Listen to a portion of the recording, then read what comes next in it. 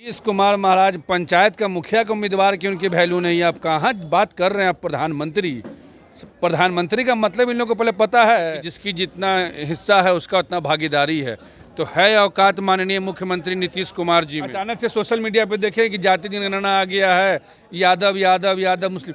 अरे भाई, हम और जाति की बात करने वाला ये जो राष्ट्रीय जाहिल दल है लालू यादव जी के समय में ये राष्ट्रीय जनता दल हुआ करता था। तेजस्वी यादव के समय में ये राष्ट्रीय जाहिल दल हो गया है।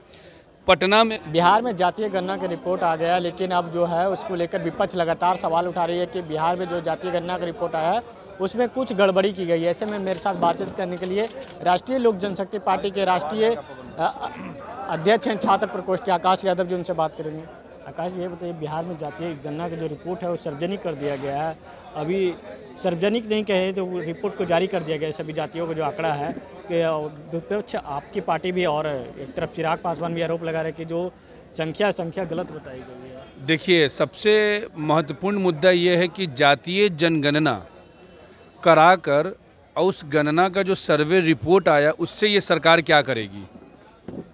ये सरकार जातीय जनगणना कराकर समाज में तनाव फैलाने का प्रयास, जातीय हिंसा फैलाने का प्रयास, जाति के नाम पे वोट बैंक हमारा कैसे हो, जाति के नाम पे कैसे हम ज़्यादा टिकट में, शेयरिंग में बात करें, इन चीज़ों के लिए जातीय जनगणना किया गया है। अन्यथा जातीय जनगणना से आम जनमानस का, बिहार की जनता का, इस सरकार के द्वारा किसी तरीके का भी लाभ होने नहीं जा रहा है। ये मैं आपके मीडिया के माध्यम से दावा कर रहा हूँ। और ये जो जातीय जनगणना कराया गया है, ये पूर्ण रूप से ये फर्जी है। क्योंकि आप पूरे बिहार में, अड़तीस जिला में अगर आप माइक लेके जाएँ तो कई एक ऐसे एग्ज़ाम्पल मिलेंगे जिनके घर पे तो कोई गणना करने वाला गया ही नहीं है। और उसके बाद भी गणना का सरकार तो डाटा कैसे पेश कर देगी आप नहीं समझ रहे हैं सरकार का डेटा का रीज़न।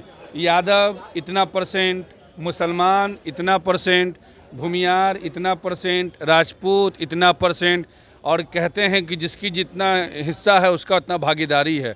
तो है औकात माननीय मुख्यमंत्री नीतीश कुमार जी में और है औकात उनके प्यारे दुलरुआ भतीजा तेजस्वी यादव जी में। तो हिस्सेदारी की जब बात करेंगे तो अल्पसंख्यक समाज का हिस्सेदारी कहाँ है? बनाए डिप्टी सीएम। तेजस्वी यादव जी अपना कुर्सी छोड़ के डिप्टी सीएम बना दे। मुस्लिम समाज से मुख्यमंत्री जी अपना कुर्सी छोड़ के यादव को, दलित को, किसी को, पिछड़ा समाज से लोगों को बना दे चीफ मिनिस्टर। ये नहीं कर सकते। ये सिर्फ़ इसलिए किया गया कि यादव के नेता हम हैं, हमारे पास चौदह परसेंट वोट बैंक है तो हमारा वैल्यू ज़्यादा हो। जनता का कुछ इसमें उद्देश्य नहीं, क्या एजेंडा है? ये गणना वाले जो लोग आए हैं, जो अंतिम पैदान पे हैं, जो गरीब हैं, जो पिछड़े हैं, उनके लिए सरकार की क्या योजना है? जो सरकार छात्रों का छात्रवृत्ति बंद कर दे, दलित अल्पसंख्यक समाज के बच्चों का पढ़ाई लिखाई करने का जो पैसा को रोक दे, वो सरकार इन जनता का मदद करेगा, गणना कराकर मदद करेगा। आँख में धूल झोंकर आइए चाचा भतीजा। अच्छा ये बताइए आपके सहयोगी जितन रहमान जी वो आरोप लगा रहे कि 1931 में जो जनगणना की गई थी उसमें यादवों की संख्या कम था और इस बार इतना अचानक कैसे पहुँच गया? देखिए ये सवाल सिर्फ़ जीतन राम मांझी साहब का नहीं है ये पूरा बिहार पूछ रहा है। ये हम पूछ रहे हैं हमसे तो कोई बातें नहीं किया कि आप यादव हैं कितना आपका कोड कुछ बातें नहीं हुआ। आपसे भी बात नहीं भाई नहीं। हम तो मतलब अचानक से सोशल मीडिया पे देखे कि जाति जनगणना आ गया है यादव यादव यादव मुस्लिम। अरे भाई, हम भारतीय हैं, हम सनातनी धर्म से आते हैं। हम यादव कुल में जन्म लिए, लेकिन मेरा जाति मानवता है।